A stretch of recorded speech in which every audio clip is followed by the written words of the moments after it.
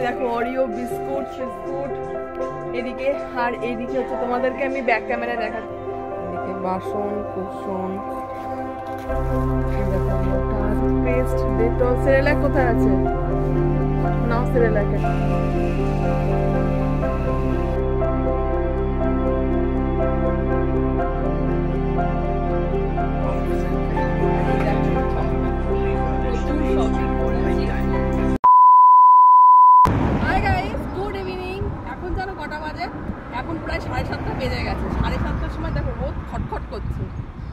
এখানে রাত হতে প্রায় তোমার সাড়ে দশটা, এগারোটা বেজে যায়। ভালো মানে সন্ধে হয় সাড়ে দশটা, এগারোটায়, তারপরে আস্তে আস্তে রাত হয়। তো এখন বাজে সন্ধে সাড়ে সাতটা। এখন আমরা বেরোচ্ছি। নিয়ারেস্ট কোনো শপ দেখব। মানে ইন্ডিয়ান শপ জানি না সামনাসামনি আছে কিনা। তো খোঁজ নিচ্ছি, যদি পাই সামনাসামনি তো যাব। আমাদের বেশ অনেক কিছু জিনিস কেনার আছে। মানে ডুকুর দুধ কিনবো, তারপর অনেক কিছু মানে ইন্ডিয়ান যেসব ভেজিটেবলস যেগুলো হয়, শাকসবজি, সেগুলো অনেক পাইনি আমরা। তাছাড়াও অনেক কিছু ডাল, মুসুর ডাল, মুগ ডাল, এগুলোও পাইনি প্রিপেস যেসব এখানকার মানে যে স্টোরগুলো আছে টেস্কো অ্যাসটা এগুলোতে পাওয়া যায়নি। তো আজকে খোঁজ করে দেখব কোনো ইন্ডিয়ান স্টোর বা অন্যান্য কোনো স্টোরে যদি এসব পাওয়া যায়। তো সেই জন্যই বেরোচ্ছি। তো এখন চলে এই যে টুকু এই দেখো বসে পড়েছে। হাই করে দাও। হাই হাই করো। হ্যাঁ হাই বেরিয়ে পড়েছে, সূর্যের মানে এখন গরমটা পড়েছে। প্রচুর গরম পড়েছে। মানে আমরা যেদিনকে আসি সেদিনকে তো ভালোই ঠান্ডা ছিল বাট আমার মনে হচ্ছে এখন টেম্পারেচার প্রায় পনেরো থেকে মনে হয় পঁচিশ তিরিশ হয়ে যাচ্ছে। মানে এত রোদ লাগছে আমার, এখন দেখতে পাচ্ছ যে সূর্যটা পুরো একদম ডাইরেক্ট এদিকে আসছে। চলো, তোমরা এসো আমার সাথে। হাই এভরিওয়ান আমি প্রিয়াঙ্কা বং ইন ইংল্যান্ডের নতুন একটা ব্লগে তোমাদের সকলকে জানাই অনেক অনেক স্বাগত। আশা করি তোমরা সবাই খুব ভালো আছো ও সুস্থ আছো। আমরাও ভালো আছি। আমরা গুগল ম্যাপ দেখে দেখে যাচ্ছি যে গ্রসারি শপে যাব আমরা।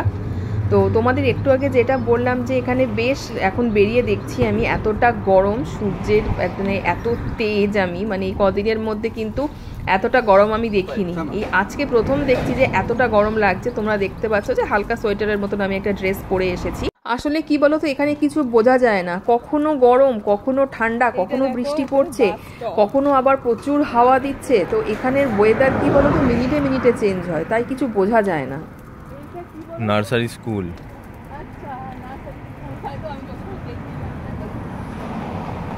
তো বন্ধুরা এখানে যেতে যেতে সামনে একটা এরকম নার্সারি স্কুল দেখতে পেলাম। বেশ ভালো তোমাদের সাথে শেয়ার করছি। তো আমিও ভাবছি যে আমার ছেলেকে এখানে একটা স্কুলে ভর্তি করাবো, কিন্তু এখানে গভর্নমেন্ট স্কুলে তো মানে ম্যাক্সিমাম তো গভর্নমেন্ট স্কুলই হয় এখানে। তো এখানে চার বছরের আগে কিন্তু এখানে অ্যাডমিশন নেয় না। তাই ভাবছিলাম এখানে কোথায় প্রাইভেট প্রি প্রাইমারি আছে, সেখানে একটু খোঁজ খবর নেব, কত কি নিচ্ছে না নিচ্ছে।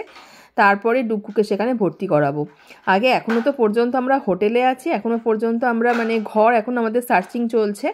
তো আগে ভাবছি আমাদের ঘরটা আগে ঠিক হোক, সেখানে সেটেল হই, তারপরে আস্তে আস্তে ডুগুকে স্কুলের খোঁজ খবর নেব, সেখানে ভর্তি করাবো। এমনিও তো ইন্ডিয়াতে ওকে আমি স্কুলে ভর্তি করেই দিয়েছিলাম। এখানে এসে আর একবার নতুন করে স্কুলে ভর্তি করাতে হবে। আর এই দেখো, যেতে যেতে আমি এইখানে বেশ সুন্দর মতন একটা মার্কেট দেখতে পেলাম, যেখানে প্রচুর শপস আছে, কিন্তু শপসগুলো সমস্ত বন্ধ। চলো আস্তে আস্তে এবার সামনের দিকে এগিয়ে যাই। আর নতুন জায়গা তো, তাই যাওয়ার সময় যে জায়গাগুলো চোখে পড়ছে তোমাদের সাথে একটু শেয়ার করে দিচ্ছি। এই দেখো, এখানে একটা লম্বা লেনের মতন আছে আর চারপাশে এই বাড়িঘরগুলো।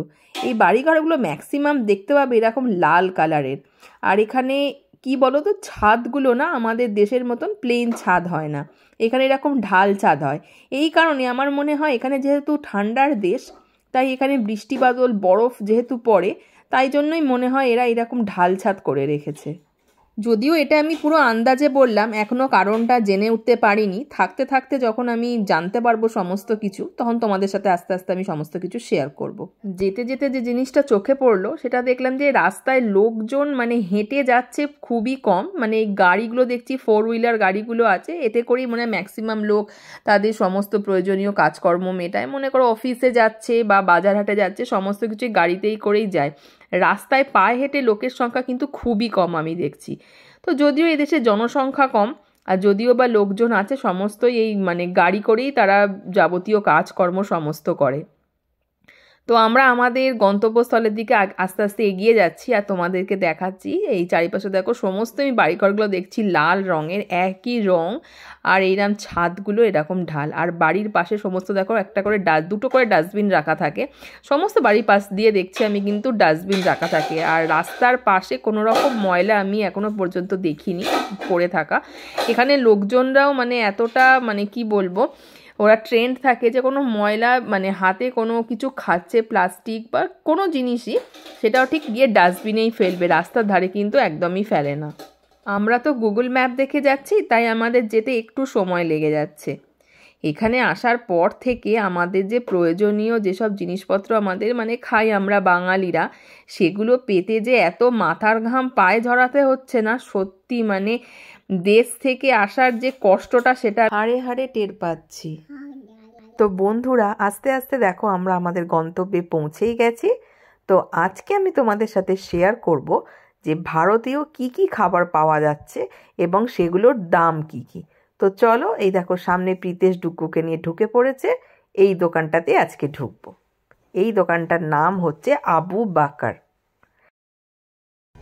আমরা চলে এসেছি একটা স্টোরে এখানে দেখতেই পাচ্ছ হিউজ আইটেম সমস্ত কিছু। এইদিকে দেখো কত কিছু আছে।